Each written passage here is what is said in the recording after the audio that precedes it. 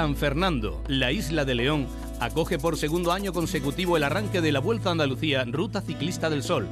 Tras el éxito de la pasada edición, en la que los isleños disfrutaron de un gran espectáculo, San Fernando se prepara para ser juez y parte en la lucha contra el crono de las grandes estrellas del pelotón internacional. Un espectacular recorrido urbano de 6 kilómetros será el recorrido con salida y meta en la avenida de San Juan Bosco.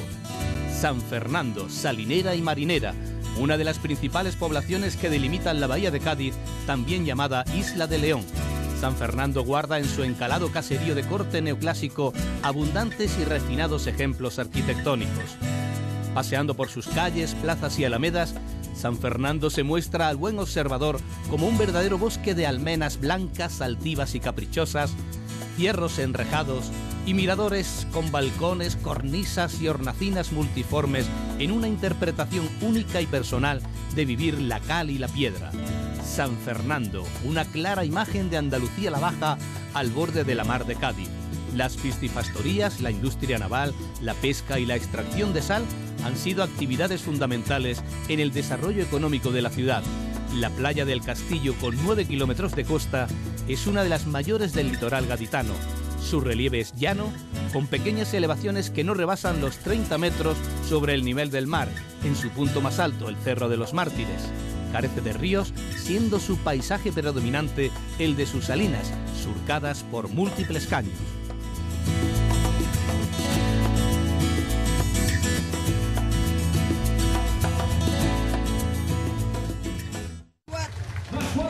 Bienvenidos a la 59 novena edición de la Vuelta Ciclista Andalucía, Ruta Ciclista del Sol, que ha comenzado hoy en la localidad gaditana de San Fernando, en esta isla de San Fernando, en la que se ha congregado muchísimo público para dar la bienvenida a los 126 corredores que han tomado la salida en esta nueva edición de la Ruta Ciclista del Sol. Como en la pasada edición, como el año pasado, ha sido una contrarreloj individual por las calles de San Fernando por la avenida San Juan Bosco, totalmente llana de 6 kilómetros de recorrido, en la que los ciclistas han metido todo el desarrollo posible, han dado lo mejor de sí para tratar de alzarse con la victoria unos, para perder el menor tiempo posible otros y todos para recargar pilas y empezar a rodar cara a una temporada 2013 que ya se presenta muy exigente para todos ellos. Un nombre propio, un protagonista, se llama Alejandro, se apellida Valverde, es el caníbal del ciclismo español, no deja pasar ni una sola posibilidad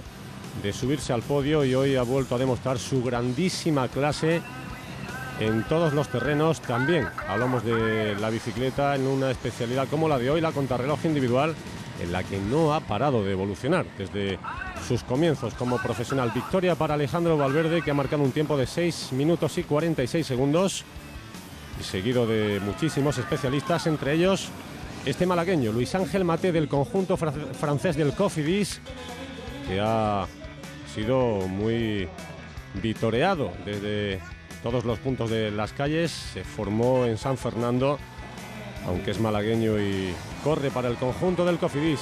Gran carrera de Luis Ángel Mate, igual que el catalán Xavier Florencio del conjunto UCI Pro Tour Catiusa. Estado muy bien Florencio ha demostrado que tiene delante de sí una temporada importante para él y en el conjunto Catiusa de nuevo va a tratar de demostrar su enorme valía. Xavier Florencio ahí le tienen encarando los últimos metros a orillas de la bahía de San Fernando, este peculiar pueblo, esta peculiar localidad tan cerca de la tacita de plata y tan rebosante de afición al ciclismo y de arte. Hoy se celebraba la gran cabalgata de su carnaval y hoy San Fernando era un lugar eminentemente festivo, acompañado también por el espectáculo, por la magia, por la pasión y por el deporte. Ahí tienen la entrada en meta de Xavi Florencio. Espectacular, como Jérôme Coppel, el galo, el francés del Cofidis empieza todo trapo cada temporada y de nuevo con su particularísimo estilo ha dado todo lo que tiene encima de la bicicleta. Desde luego que se trata de una carrera, la Vuelta Ciclista Andalucía, que está en las quinielas y está en la programación de los equipos más importantes, como el Team Nitap, el único equipo alemán que comparece en esta edición, 59 edición de la Vuelta Ciclista Andalucía y ahí tienen a Barta, que ha marcado 6.57 a 11 segundos del grandísimo Alejandro Valverde.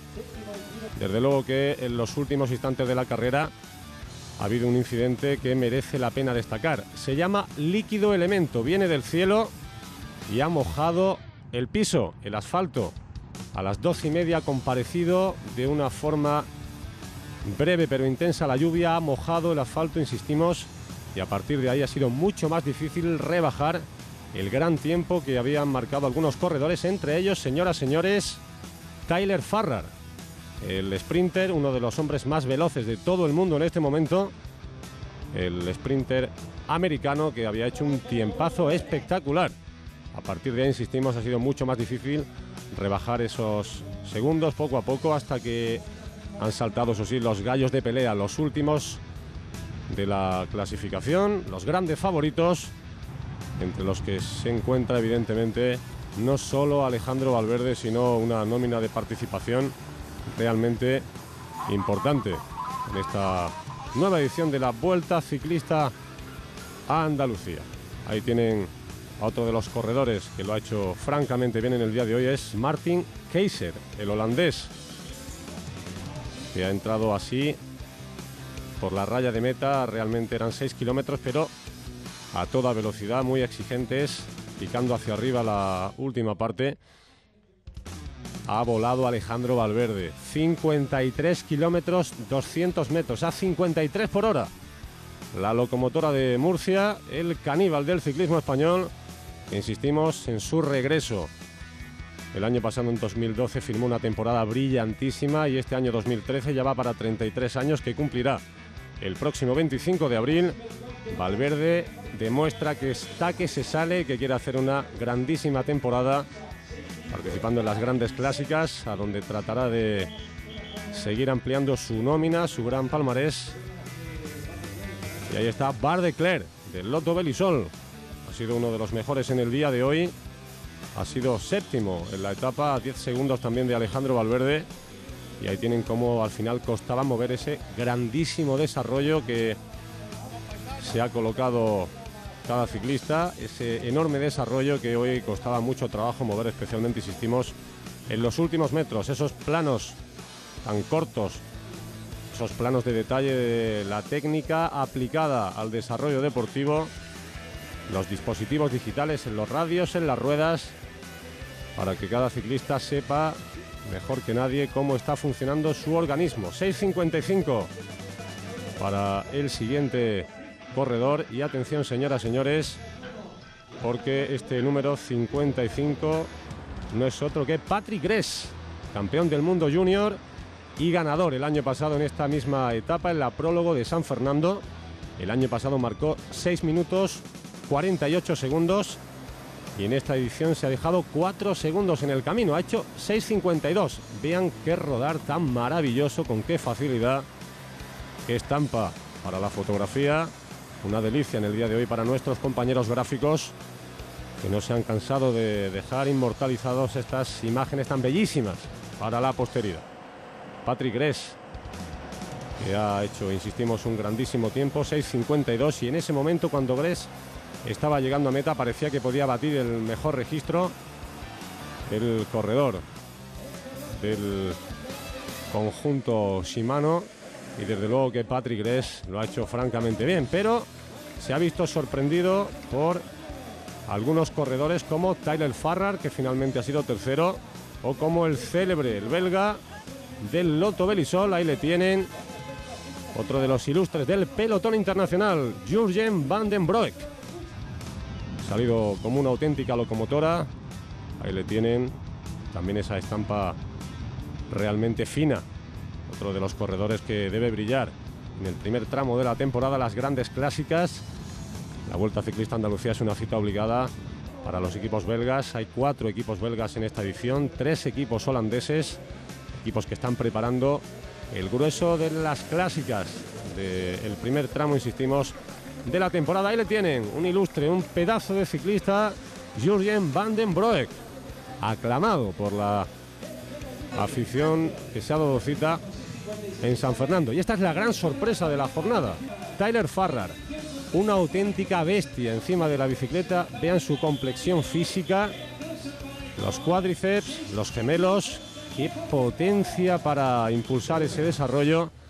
Y finalmente ha sido un tiempo estratosférico para el americano, para el sprinter, que tiene una cita importantísima en la segunda etapa de línea. 194 kilómetros de recorrido para una etapa que terminará en la localidad de Montilla. Insistimos, la segunda etapa de línea para pasado mañana. Aquí tienen otra de las sorpresas de la jornada, Simon Spilak, del conjunto Catiusa, que ha sido segundo, a dos segundos de su majestad. Ahí está, Alejandro Valverde. No tiene nada que demostrar. El año pasado fue brutal su temporada y desde luego que Alejandro Valverde ha dado una lección de profesionalidad, de ambición, de ganas. Ha arriesgado, insistimos, el piso mojado, apretando los dientes, dándolo todo metro a metro, comiéndose la carretera.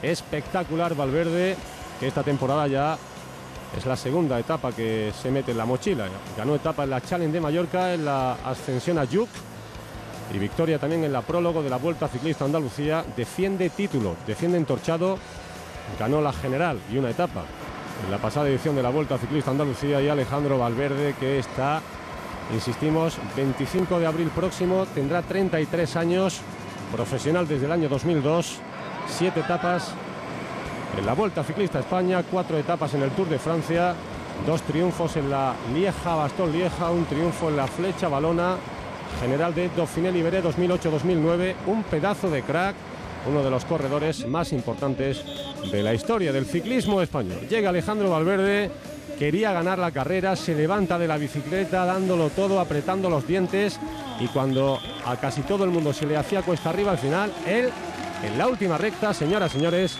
ha ganado la etapa.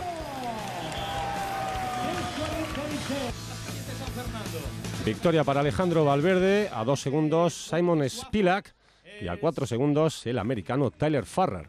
Felicísimo Valverde que ha presentado su candidatura para hacer una temporada en 2013 también importante. La general individual la tienen los mismos protagonistas y la sonrisa de oreja a oreja para un Valverde que ha sido la gran estrella en el podio de San Fernando. La general por puntos, Valverde que viene a por la general, viene a por la victoria.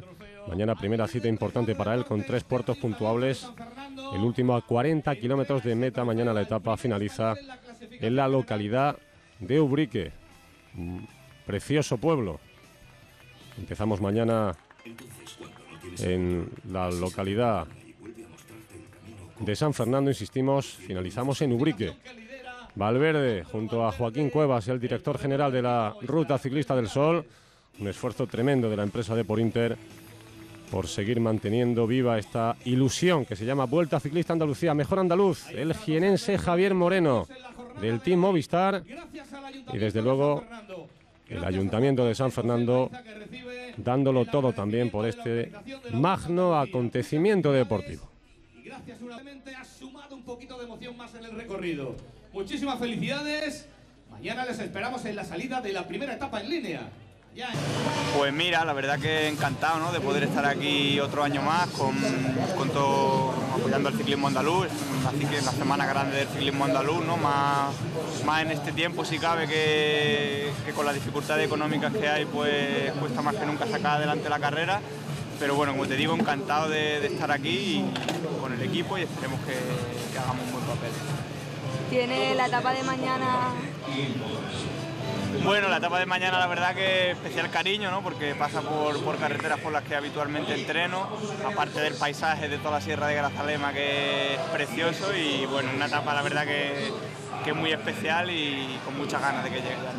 A ver si se repite la escapada del año pasado, ¿no? Ojalá, la verdad que sí, que no estaría nada mal, ¿no? Una lástima, por cierto, que no, que no estén aquí los compañeros del equipo Andalucía, hace un, un recuerdo hacia ellos, ¿no? Una pena que el equipo no, no, haya salido, mandarle aquí el ánimo a todos los compañeros que, que siguen buscando equipo y, y ojalá que podamos, que podamos repetirla. Igual no va a ser porque va a faltar, va a faltar la gente del equipo, pero bueno, esperemos que, que sea parecida. No, el objetivo ya estaba clarísimo desde ayer, ¿no? Con Alejandro siempre hay que salir a ganar porque cada día demuestra que es el número uno y hoy un día más, así que mañana a defenderlo y a ver si hay suerte. Y en el rincón pues seguimos con Alejandro como líder. Tras el prólogo y con un líder vestido con el maillot Cruzcampo, San Fernando será el punto de partida de la primera etapa en línea de la ronda andaluza de 163,9 kilómetros. La carrera dejará la isla para dirigirse a Chiclana de la Frontera y Medina Sidonia, donde llegarán las primeras rampas de la vuelta en el Alto de Medina de Tercera. Paterna de Rivera conducirá la carrera hacia Arcos de la Frontera, donde se disputará la primera meta volante. Arcos de la Frontera, entre la campiña jerezana y la serranía, es un importante motor de desarrollo para el turismo interior y la industria comarcal. Tras la disputa de la primera meta volante, la carrera marcha hacia Prado del Rey, donde se ascenderá el segundo puerto de la jornada en el kilómetro 98. Tras el descenso, Sara de la Sierra dará paso al puerto de las Palomas de primera, ascenso clave en esta etapa para los aspirantes al triunfo a solo 33 kilómetros de meta. Antes, la carrera transcurre por Grazalema, Villaluenga del Rosario y Benaocaz, donde se disputarán los puntos de otra meta volante. Benaocaz conserva los restos del barrio nazarí con su empedrado declarado conjunto histórico. Tras la meta volante, recta final de la etapa en Ubrique. La avenida Jesulín de Ubrique dará la bienvenida a la primera etapa tras 163,9 kilómetros. Ubrique, al sur del sur de Andalucía, en plena ruta de los pueblos blancos de la Sierra de Cádiz, donde se recogen los puntos más altos de la provincia, aparece Ubrique arropada por las sierras que llevan su mismo nombre. Con sus tan solo 337 metros sobre el nivel del mar, su trazado se adapta a las líneas de las montañas que forman en su conjunto el corazón de dos de los parques naturales más importantes de Andalucía, ambos adheridos a la Carta Europea de Turismo Sostenible. Ubrique se convierte en un reclamo para aquellos turistas que se acercan a estos destinos y que se sienten atraídos por el entorno natural y la cultura, especialmente por conocer de cerca la tradición marroquinera que desde hace siglos relaciona Ubrique con la piel. Ubrique ofrece todo un mundo de posibilidades para disfrutar de la naturaleza con espectaculares rutas para el senderismo y la bici de montaña. Son muchos los atractivos de Ubrique, el casco antiguo, la ruta de los miradores, el yacimiento arqueológico de Ocuri, la rica gastronomía y sus emblemáticas fiestas populares convierten a Ubrique en un lugar para visitar.